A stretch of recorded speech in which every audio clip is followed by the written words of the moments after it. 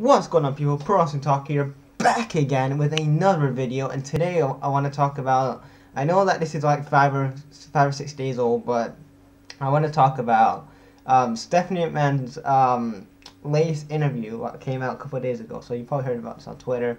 So apparently she did, uh, well she did this business call and apparently she, uh, the words that she said is that the WWE listen to their, fa- listen to their fans. Now, to a degree, I can agree on some things because if you look at who's trending on the merch side of things, like your AJ Styles, your Roman Reigns, and stuff like that, yes, they're listening to their fans.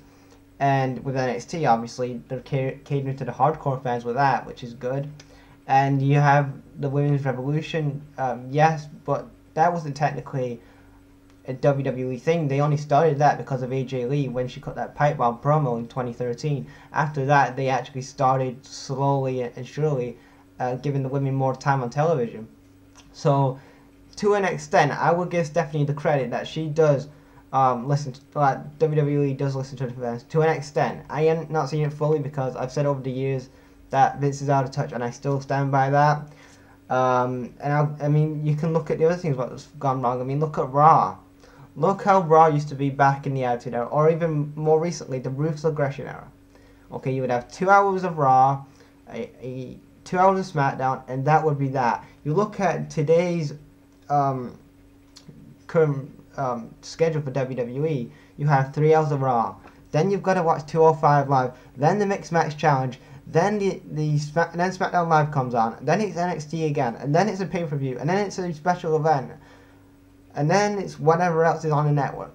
I know that you want to put stuff on the network, which is fine. I agree with that. That you need to put more stuff to get to you need to put more stuff on the network to get people buying the network. I get it, but when you have too much content, when you when you have too much content, it's maybe not good because like, um, have you heard the saying is like um, uh, less is more. If you know what I mean, like if you give them less content, less content, cut down the content a bit, then you know they want more of it.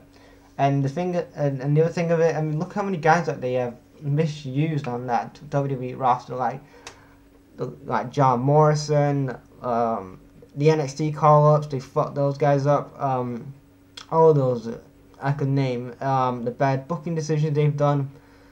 Invasion Angle 2001 comes to mind when I think about you know bad bad storylines. Just the Invasion Angle.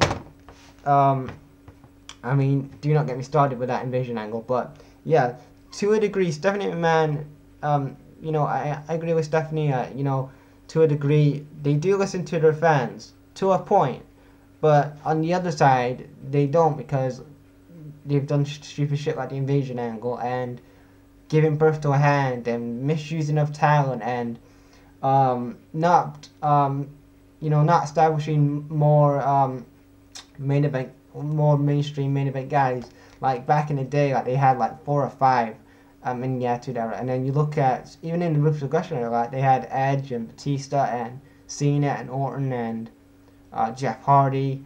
Um, and then you look at today, they have Roman Reigns, maybe Seth Rollins, AJ Styles, um, Daniel Bryan. That's about it. And this is the best roster they've had in in many years, in my opinion. And when they keep signing people, they're just going to end up lost in a shuffle, go on to maybe a SmackDown or a Raw, and then just forget about them. That's it. I was going to be. And Stephanie says that we we um, that she listens to the fans. Now, um, Stephanie, you do to a point, like I said, but on the other hand, you do not because the stuff I just said. And yeah, what do you guys think about this whole thing anyway? Leave your thoughts in the comments, and I'll check you guys later. Peace.